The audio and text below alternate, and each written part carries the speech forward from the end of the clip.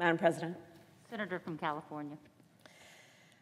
Madam President, the murders of George Floyd, Breonna Taylor, Rayshard Brooks are the latest in a long history of violence against black people in America.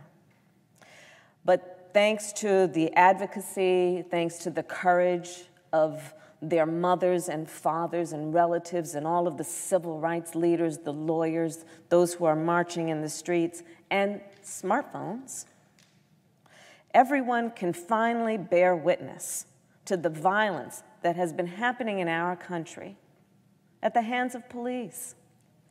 Now, let's be clear this behavior is not new. Mothers have been crying over their dead children's bodies for generations. Yet no one would listen. No one would listen. Emmett Till's mother had the courage as a leader to say, The world will listen when they look at my baby's body in that casket.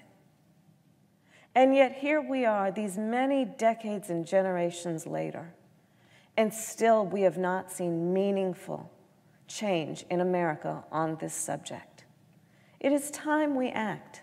It is time we act. And let us be clear Sometimes some of the most courageous and important work that has happened in this United States Congress has happened not because there was leadership in the body, but because the people demanded it and they would not relent until their government and elected leaders and representatives listened to and answered their call For, steps toward what we call a more perfect union.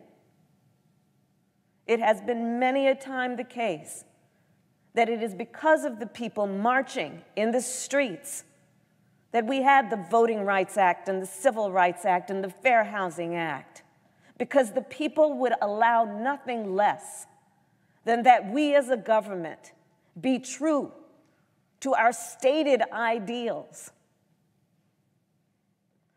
And yes, over the last three and a half years in our country, Many of us have wondered whether the leaders of this country actually pay homage to and have any desire to institute and to get closer to those ideals. This is a moment for the United States Senate to say, we as a body will do that. That what is clear right now in this moment and in this movement is that there is still work that can be done, not just should be done, but can be done. To come closer to those words inscribed across the street in the United States Supreme Court, to effectuate equal justice under law. It is within our grasp to do this, not just an imperative, it is within our grasp. And while in America today, People of, from every state, all 50 states, every walk of life, are demanding we take the problem of police brutality seriously. We have this opportunity, and we should see it as such. Where before there may have been reluctance to go against the, the, the, the, strength of the status quo, which is always reluctant, if not hostile, to change. The people in the streets of every race, every gender, every age, from every state are not only giving us permission, but demanding that their leaders finally make good on the American promise of equal justice under the law. And they are demanding this change. They're not just asking for it.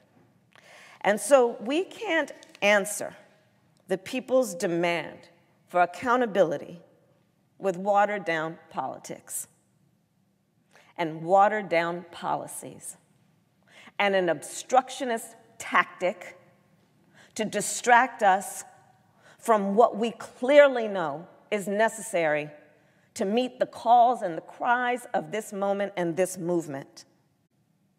And so I will say, we cannot answer their demands with this Republican attempt to obstruct real progress and real justice in our country.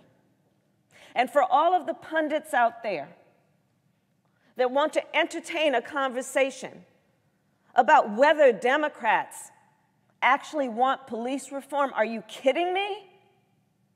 Are you kidding me? We are responding to the cries in the street. We are taking them seriously.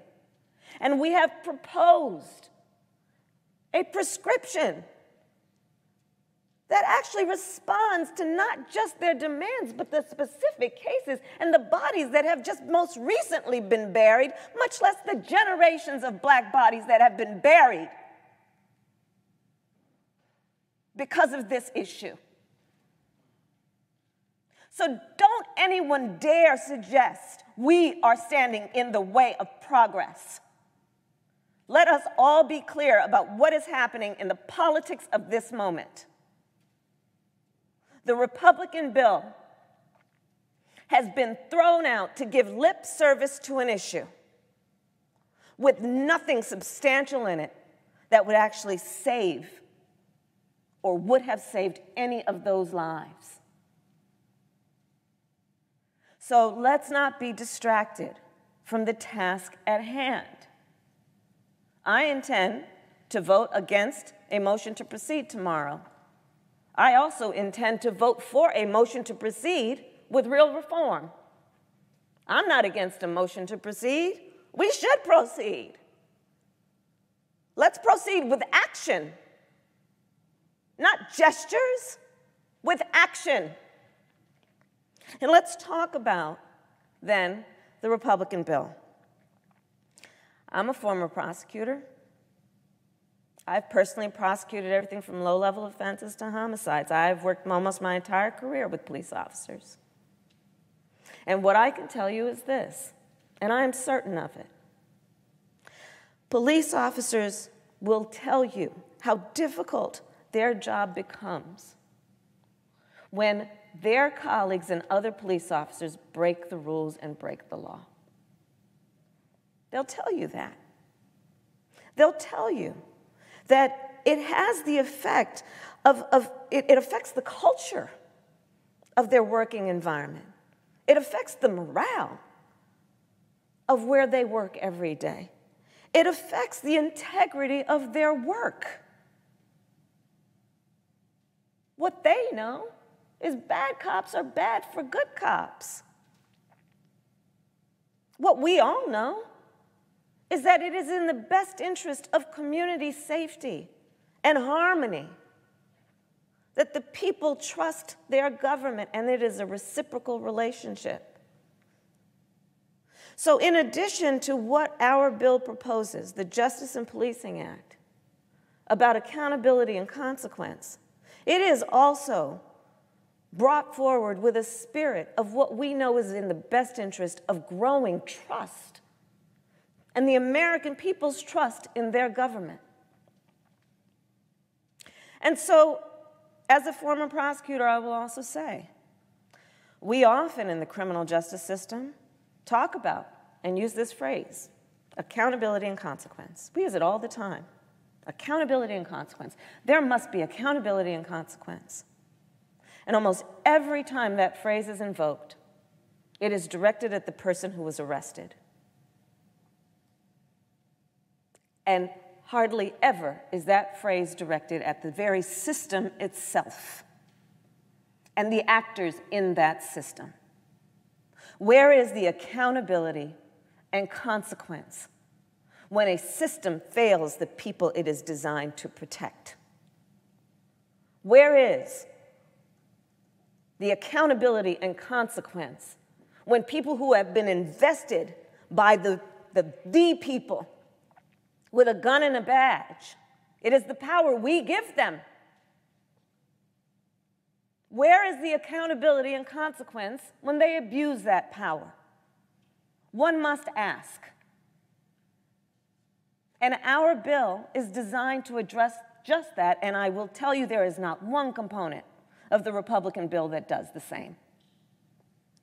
So let's talk about the history of where we are today, just recent history, meaning in the United States Senate on this subject. On Monday, June 9th, in response to protests in all 50 states of these United States, Senator Cory Booker and I, along with our CBC and House Judiciary colleagues, and a majority of our Senate caucus, announced the Justice and Policing Act. Over one week later, okay, now the people are marching in the streets. Like, let's just remember this people are marching in the streets every night, every day. Over one week later, somebody got the, the memo, and then what they do?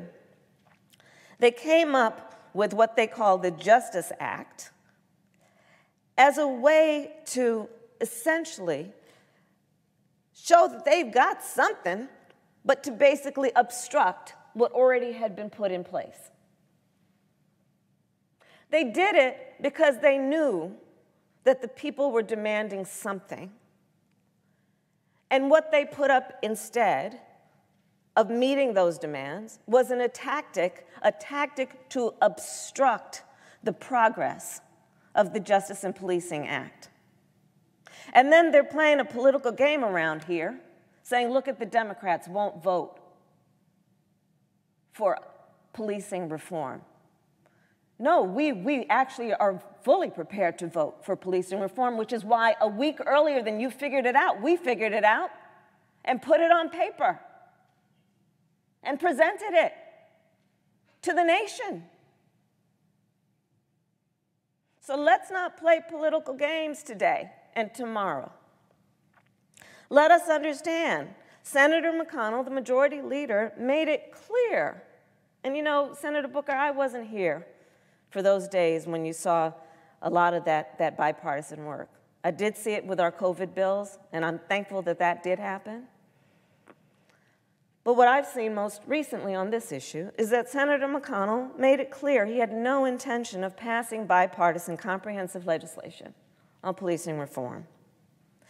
And instead, what we have seen is that instead of an ability that all of us in this chamber have to pass the Justice and Policing Act, which has already gained 227 co sponsors, enough to pass the House, instead, the leader, the Senate leader, has scheduled this vote tomorrow to not solve the problem of police brutality in America, but to solve his political problem. To solve his political problem, which he has taken no stand. And that caucus has taken no meaningful stand on an issue that has people in our streets marching for the last three weeks, and, and those marching folks will go on. The proposal was carefully crafted that is being offered tomorrow for a vote. The Republican pro proposal was carefully crafted to deflect from real change by merely, as my colleague Senator Booker outlined, Senator Schumer outlined, by merely offering to study the problem without doing anything to solve it. Madam President? That's empty. Madam President, would the senator yield for a question? When I'm finished, I will. The Republican bill does not even provide a baseline for a discussion or amendment on police reform, in that there are no mechanisms to hold law enforcement officers accountable in court for their misconduct. There is no transparency into police misconduct, which is necessary, of course, to enable communities to hold officers accountable. There is no requirement of data collection on all use of force incidents or on racial or religious profiling. There is no ban on harmful policing policies and practices, such as racial and religious profiling. No knock warrants in drug cases. We're not banning all no knock warrants, no knock warrants in drug cases, because Breonna Taylor would be alive today had that been the case. Chokeholds, carotid holds. No, no reform of those issues in the Republican bill that's being offered. And there is no standard, national standard for use of force. So I will, I'm happy to entertain a question from the senator from Texas, and then I'll, I'll conclude my comments.